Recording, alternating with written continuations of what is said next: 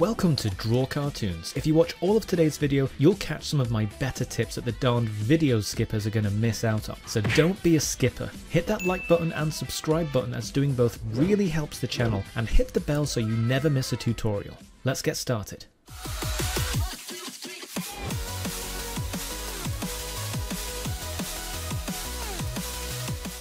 So to draw this guy, we're going to start with a circle as we always do for the head. Uh, well, not, not necessarily always, but this is definitely a circular head. And then once you've drawn that, it doesn't have to be a perfect circle by the way, just try and get it as precise as you, as you can with your free hand. And then we're going to draw another circle around it that's way bigger, and as you can see, there's more room on this circle, on this side, than there is this side. I guess it's like looking at a fried egg. The yolk is never quite in the middle, it's a little offset. So try and get much more space here than there is down here. So we'll just start with the face and then we'll work down. So I think a good way to do this is to draw a kind of line of symmetry right down the, uh, well not quite the middle of the head, but offset to the side a little bit. And once that is in place, we know pretty much where to start the beak. We want to start the beak in the middle of this line that we just drew. Try and picture where the middle of it is. And then we can start drawing a beak out over that circular guideline we initially drew to show the size of the head, and back up into a little smile like that. You just end it with a little kind of cartoony crease for the cheek. Then for the bottom part of the beak, it just kind of dips in there, goes out, and then back into where those lines meet, and then we'll just draw around it again to give a little bit of thickness to that beak, bring it a little bit wider as you approach this area here, and then bring it up back to that midpoint. I'm going to add a little curve over the beak as well because it changes colour. Now for the eyes, so there's a uh, circle, or rather an oval, on this size, uh, side rather, and then there's another kind of oval on this side. And note the space difference, there's a lot of space here compared to here, and that's because of the angle that we're looking at the character at. It's just a foreshortening thing. But this pupil needs to appear way closer to the middle of the head than this one, purely because of how we're looking at the character. So now we'll draw a line like this, a curve, because it shows what direction the character is looking at in the original artwork, and it's a pretty cool cartoon thing. Might want to remember that one for future. And then a couple of tufts of hair right on top of the head. And we'll add in that kind of pattern on the face, just a big curve going around the head.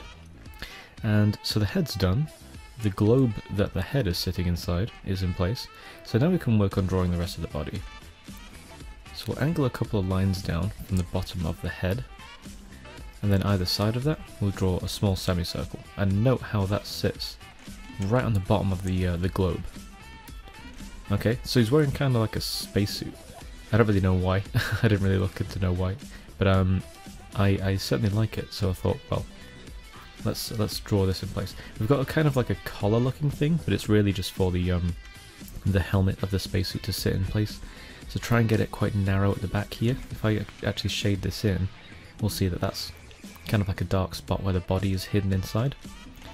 And that at the back is quite narrow, and that at the front is much thicker, again because of the angle uh, that we're looking at the character from.